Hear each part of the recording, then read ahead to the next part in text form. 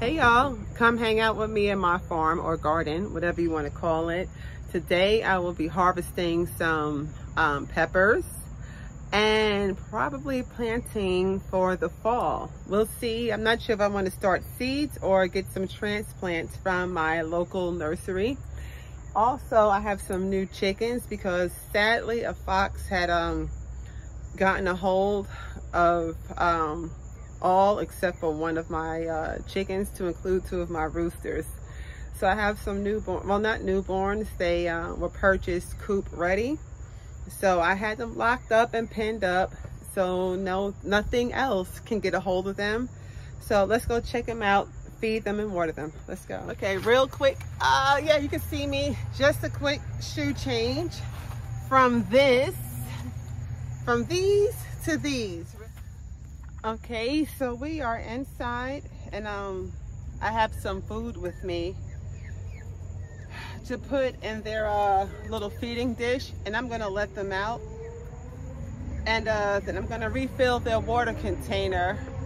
So I'll probably let them stretch their legs out while I refill the water container and then determine how I feel. I'm really gun shy about letting them roam around a little bit, but at least they'll get some exercise now. So let's see how this goes. Hey, okay, you guys have some water. Let's dump some of this out a little bit.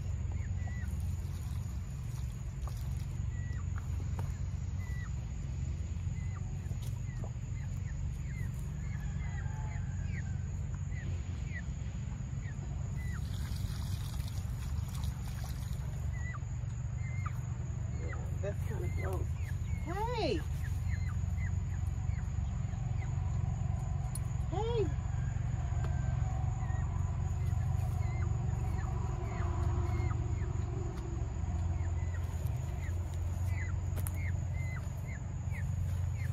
Here's their food.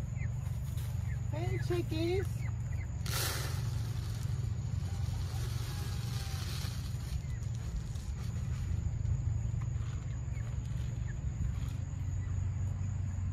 Hey. Ah, I don't like the way it smells.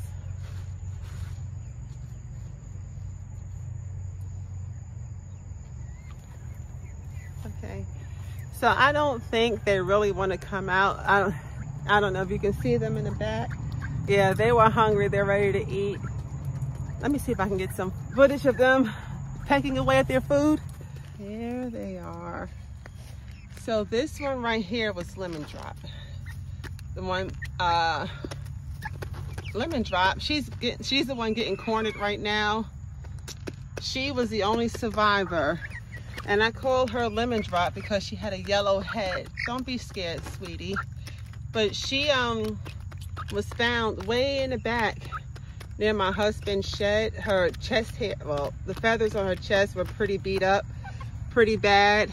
And um, but she looks like she's recovering. I didn't want to leave her by herself too long, so I got some friends for her. So I'm happy. And it seems like she's doing really good. The feathers appear to be coming back. So they're not anxious to come out, so I'm not going to force them to come out. They still have plenty of water. So I'll just take this container and put it in there. And they can drink and drink and drink all they want. Now, usually I would love to do this like on a weekend because I'm only off on the weekends or if I take a day. And I would love to do this during the morning.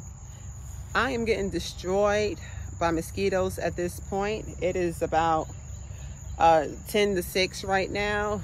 And if y'all see, I'm not being gross. I'm not trying to be weird, but I am itching. But I know I need to get out of here and at least try to harvest some stuff. Um, there's a lot to do. I would like to say I keep a neat garden, but I don't. Meaning, one area where I was sitting to put my shoes on, it was pretty last year, but now all the grass is just going growing through and it looks a disaster. I've received some crates, some plastic crates from a coworker that I want to put some soil in and grow flowers out of those crates. I've become more of a hoarder, if anything. Like I'll show you guys around. I have a storage bin full of um, water jugs and pots. I was gonna fill the storage bin up with soil and plants in it. I didn't do it yet. Here we are in August. This tote has been out since April, but it'll get done. Well, anywho, let's see if I can prop us up in a good spot and you can kind of see where I'm harvesting some peppers and kind of get a glance of my trellis area. So this, uh, matter of fact, let me just show you really quick we have, um, I don't know if you can see, some uh, Thai basil, tomato plants. So I need to grab some tomato and okra that I had started from seed very recently from an okra plant from last year. So I'm excited to see it grow.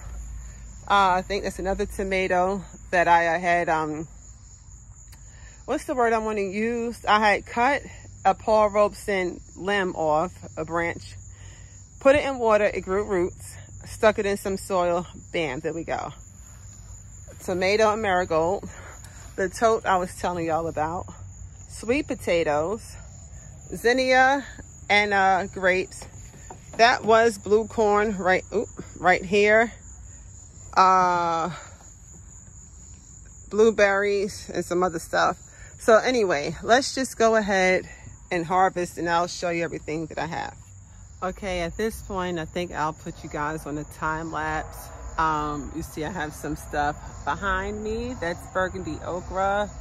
And I have butterfly bush, some okra right here, some peppers all around, and uh, some more peppers this way, peppers over here, uh, and stuff. So I'm just gonna put it on time lapse and I'll show you all the harvest that I've gotten. So hang tight.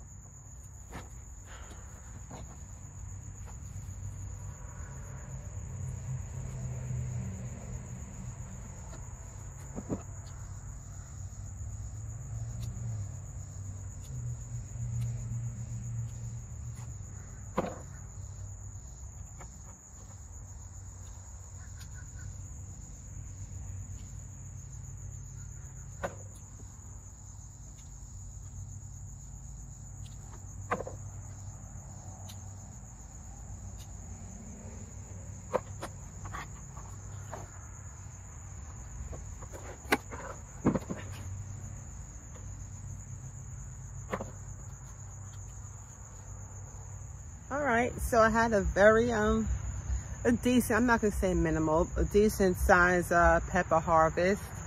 Here i have my tomatoes that oh i want to grab. I didn't trellis these or anything. I just let these tomatoes do their thing in terms of if y'all want to grow up grow up. If you want to grow sideways you can grow sideways. This year i ignored a lot and um i got pretty decent results um, I told myself I wasn't going to stress out about a lot of my tomatoes. Now I'll show you another area in my garden. I'm gonna just pull these. I'm not gonna use my shears. I wanna show you this really quick. Um, I'm gonna try to turn it around, but I'm already making plans for next season or what I wanna do. And if you don't mind commenting down below, your suggestions or opinions or, hey, I got a great idea. But I'm going to show you. This bed, let me see if I can stand in a better location so I can see. This is my uh, raised bed back here that I had built, yeah, last spring. And uh, right now I have some tomatoes, some more tomatoes. Uh, some of these tomatoes were given to me by my friend as seedlings. Uh, and I, and I had a lot of seedlings, so I just threw them anywhere. Get in where you fit in, fine. last year I had mustard greens and some squash. I am giving up on squash at this point. I have been attacked by um, squash bugs and squash vine borers. But um, I'm thinking about making this next season. I love corn, okra, and tomatoes. So next season, I really would love to make this my corn, okra, and tomato bed. Let me know what you think. Now we're gonna walk to this side. If you look at an old video that I posted, my last video prior to this, I had uh, gotten a tiller.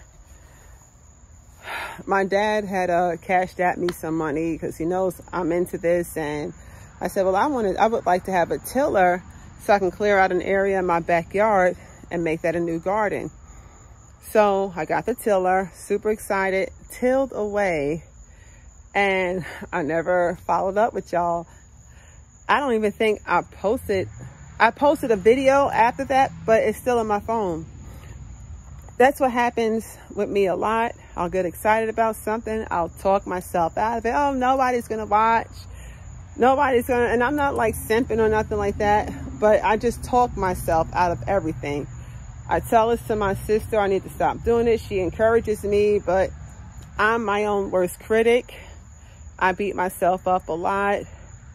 And, but I look for YouTubers like me, just regular people doing regular things, if you will. Like there's no lights, camera, action or nothing behind it. I just, but I do like the pretty, pretty videos too.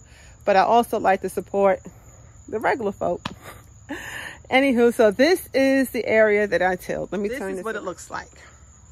I have things in here that I have planted intentionally and things that were planted unintentionally. These, and mind you, a lot of the uh, flowers that you see here are sponsored by clearance racks. The only thing I paid full price for were the seeds for the um, edibles, but any floral that you see were clearance racked, such as the echinacea. They were dried up, ashy little stubs that I had gotten um early early this year like in february from last season i'll take it um everything back there clearance from a, a big box store i'll take it i will take in i'm like the statue of liberty of plants if you will of flowers and you could not when i first started gardening you could not get me to uh, put flowers. I'm like, flowers are a waste of space, blah, blah, blah, blah. I just want all plants. If I can't eat it, I don't want it. Well, then I became interested in medicinal herbs. I can't smoke, not those, the smokable ones. Like I have um, marshmallow plant. I have those, those type of medicinals to include echinacea. And next year, what I want to do I don't want any food in here. Maybe some herbs, but like maybe one area herbs, another area, and the rest of it just flowers. Just make it like a pretty meadow. Those yellow ones in the background, don't know what they are, but they came up and I like them. So that's what inspired me. And I also want to say that I try to buy clearance plants that are perennials. Okay, well, I know I said I was thinking about planting and uh, cleaning out some um, beds and some of the pots and preparing for the fall. But it's hot out here, y'all. I'm super itchy. I'm just, even my knuckles are itchy. Uh, the little chocolate cherry type tomato that I was gonna pick to show you felt a little gross and mushy, so I don't really wanna pick that up. Uh, and let's see, I think that's it. Please comment below, please. I just need y'all suggestions on what I should do with that raised bed. Is it um a good idea to make it like a corn, okra, tomato bed for next season? Um, what are you planting in your garden? Thank you. Have a great day.